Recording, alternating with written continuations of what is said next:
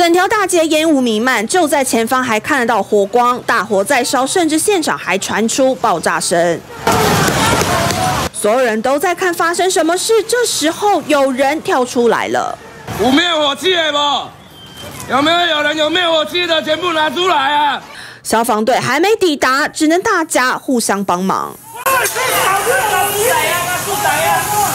附近店家把灭火器全部拿出来灭火，现场一度陷入紧张。经过好大一番功夫，才将火势控制。直到消防队员抵达，他们接手布水线洒水，成功将火势扑灭。当归呀，那个瓦斯那个管线脱落啊，然后瓦斯还在啊。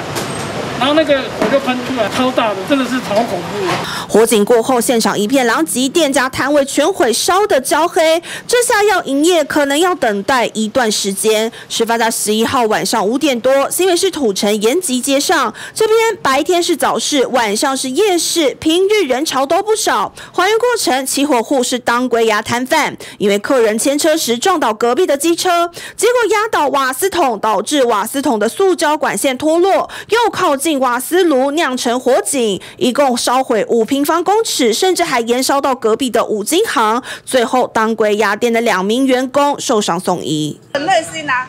都赶快灭火器，赶快丢下来，赶快丢下来，要大家都分工合作完了。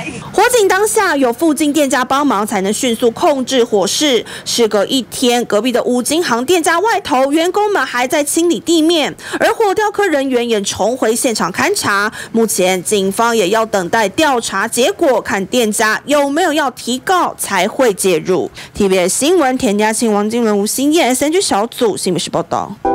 想看最完整的新闻内容，记得下载 TVBS 新闻网 APP。